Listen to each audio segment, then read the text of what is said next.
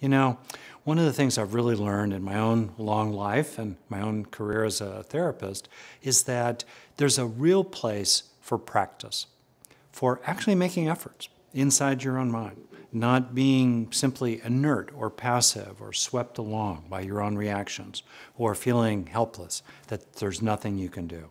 Actually, we can practice. We can take action inside our own inner world and in the process of doing that, exert a fundamental independence, a kind of autonomy, a sort of scruffy moxie that says, no, uh, my life might be pushed around, my body might be pushed around, but deep down inside my own mind, I'm still able to take power.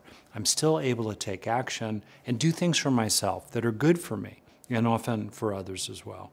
Implicit in these practices is the fundamental idea that there are always things that we can do to learn and heal and grow.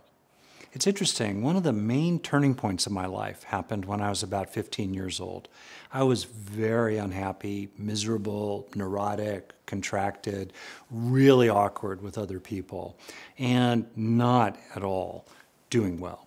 And there was a kind of turning point in which I suddenly realized that while I could do nothing about the unhappiness and misery in my past, and in fact, in the moment, there was nothing I could do about what I was actually experiencing at the time.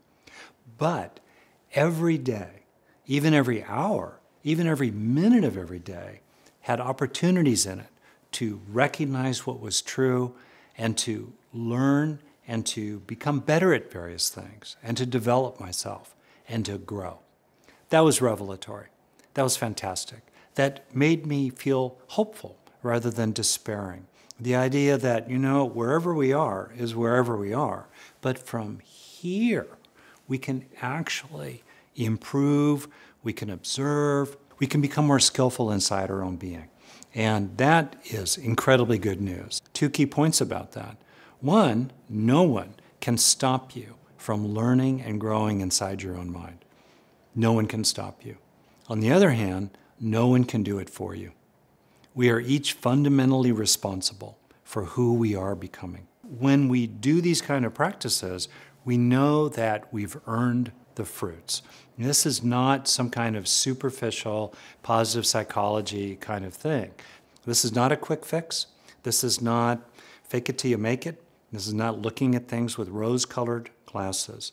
This is growing the good inside yourself, one breath at a time, one minute at a time, one day at a time, in ways that feel legitimate and authentic from the inside out, with results that you will see in your experience directly, and increasingly over time, people will see in you as well.